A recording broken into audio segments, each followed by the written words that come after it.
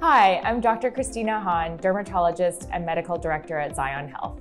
And I'm Lily, editor of the XYON Medical Library. Today we have a great topic for you. It's a question that a lot of our followers and patients ask us about.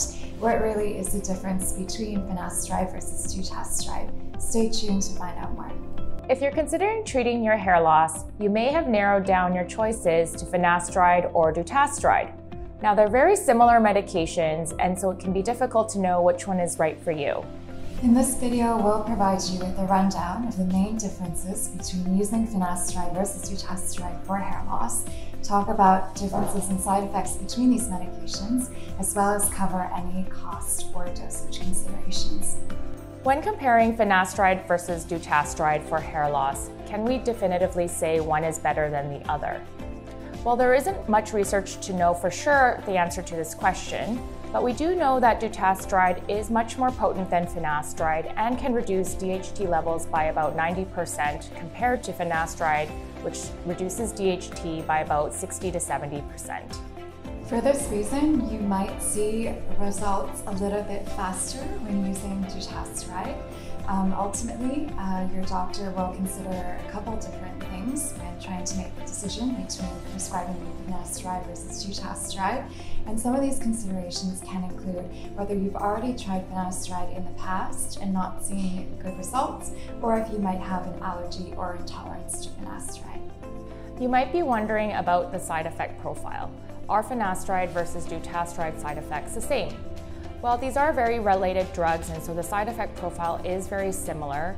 However, some clinical studies do suggest that dutasteride may have slightly increased side effects due to its more potent effects on DHT levels.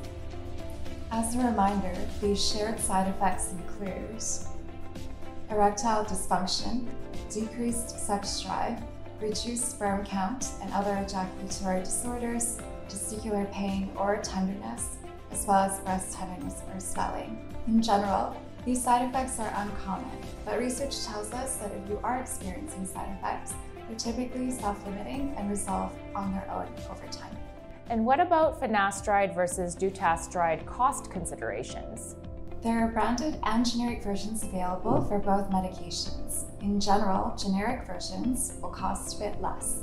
Of the two, generic dutasteride will still be the slightly pricier option, and there are a few reasons for this, including regional differences in pricing, research and development, manufacturing costs, and the drug's uniqueness. The good news is that these costs may change in the future. If you've got health insurance, out-of-pocket expenses for either of these medications may be significantly lower.